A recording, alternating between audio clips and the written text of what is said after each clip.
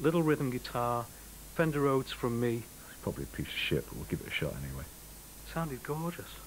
I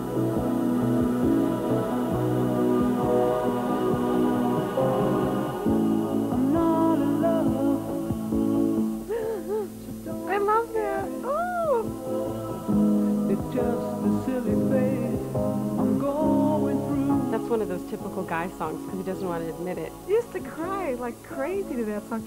Not love. But it's, it's all about boys loving girls, and you think, oh, they don't. They're just pretending. You you got.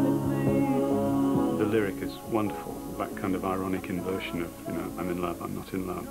Everybody feels like that sometimes. Band's original manager, Jonathan King, allegedly suggested the name 10cc after seeing it in a dream. The other popular explanation is that, whether it's the source of the dream, I don't know, is that 10cc is supposedly the average male ejaculation.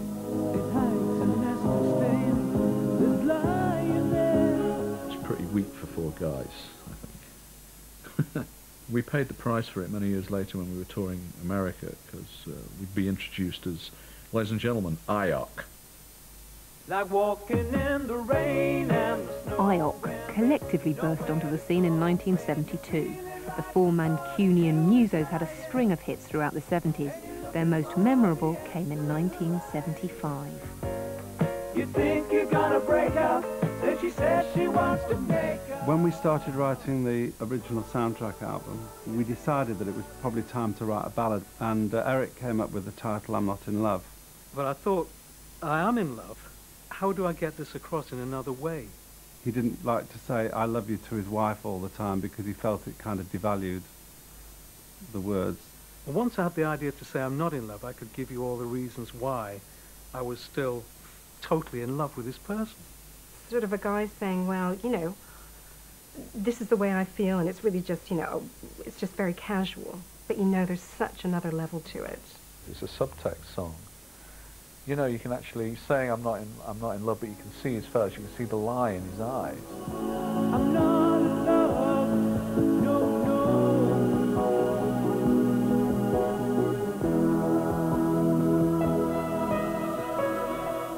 And Kevin Godley came up with the idea, why don't we just use voices for everything? So I went into the studio, three of us, and went, ah. And then we multi-tracked the same note. It's like this heroic, angelic sound of heaven.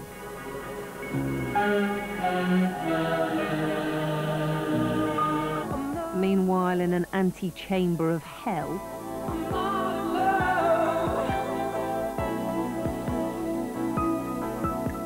It's an interesting song, I'm Not In Love. I think it's a song that just doesn't seem to work when it's covered. I can't think of an instance, I could be wrong, where it's been a hit, uh, you know, as a kind of a straight cover. Can you? I'm not in love, no, no. I'm really flattered that some people think they can do this song in another way. No, no. There are maybe 50, 60 cover versions now already. Rap versions. and crap versions. I remember once watching Petula Clark doing a disco version of I'm Not In Love. It hides a nasty stain that's there.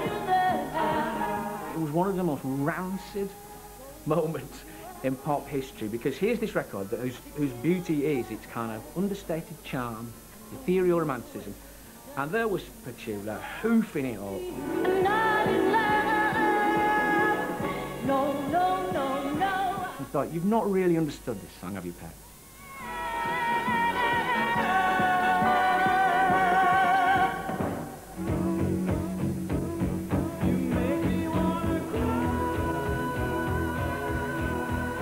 In the late 70s, Godley and Creme left 10cc to record their own heartbreaking songs and direct some groundbreaking videos.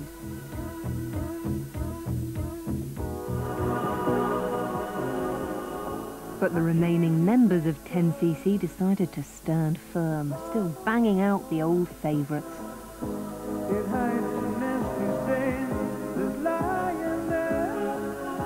And some years later, with an encouraging hand from the record company, the band had another spurt of creativity.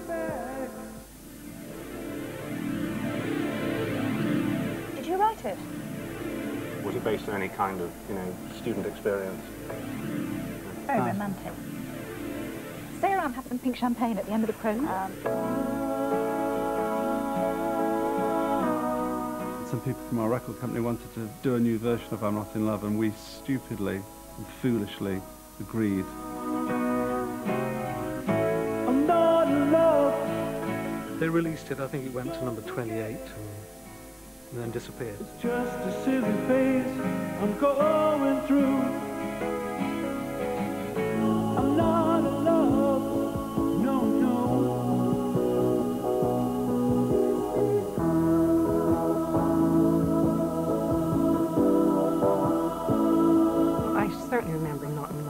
Played at every disco. You know, the dance floor was packed. You know, guys saying, come on, you know, let's dance. They were asking you for the last dance and, and probably snog. And at the same time, it, the lyrics are kind of saying, "Mm, but I'm still, you know, I'm not going to give my all yet. It's a very clever, very subtle piece of pop writing. And it's not just clever, it's sold millions. Every time it's played around the world, even if it's a couple of pennies, it's financially very good for us. Uh, it's, it's great.